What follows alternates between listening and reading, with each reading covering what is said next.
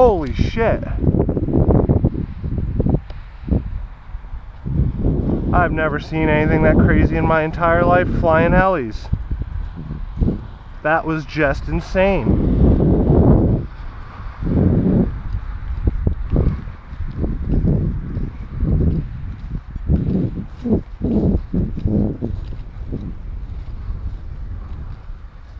Tail boom, cracked. Canopy, cracked. Skids, cracked. Let's see. Ah. Get it off. From the best I can tell,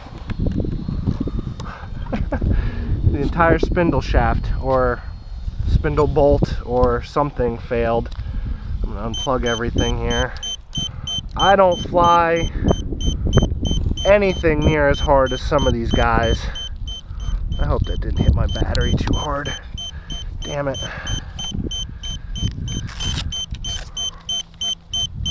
Oh, it gave it a pretty good whack, but it's on top of the cell. Hopefully it'll be alright. These are new batteries, so I'm a little pissed about that.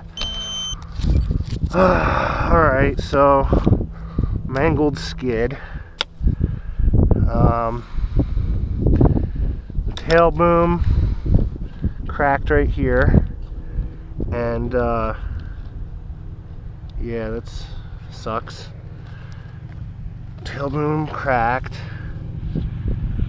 Um, hell, I wouldn't doubt if the main shaft is still straight. The rest of the tail seems alright. Relatively okay, I guess. Canopy, I, I don't even know what to say about this. I gotta see. Oh, one blade way over here.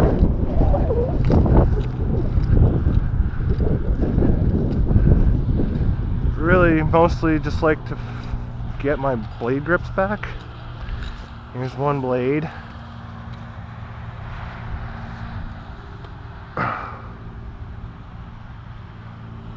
Oh, with the attached problem. This is this is the attached problem. I'll dig in here, make sure there's nothing else. See if my bearing might be in there too. I doubt it. Yeah, bearings are gone. So, right here is the problem. Spindle bolt sheared. The feathering shaft, spindle, whatever, the bolt sheared. It's right here in my hand. Uh, I gotta go. Um, I'm out here looking for my other blade grip. I can't seem to find it. It went pretty far. could have swore it came out here somewhere, but uh, yeah, I guess I'll have to watch the video or something. Man, I don't see it anywhere. I could have swore it was out here somewhere. Oh, is that it? Way over here? Holy crap.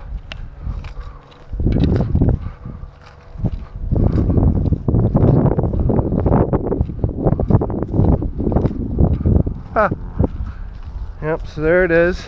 This one looks intact as well.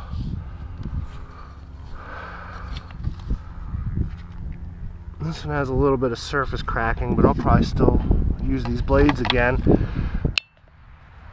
Well, I was just uh, walking back with my pieces of heli here, and uh, all the way over here on the helipad is one of the pitch links. Makes you wonder where the other one went. I was crashed way over there. So, yeah, one of them anyway. Saved me five bucks on that crash. Yep, thanks for watching.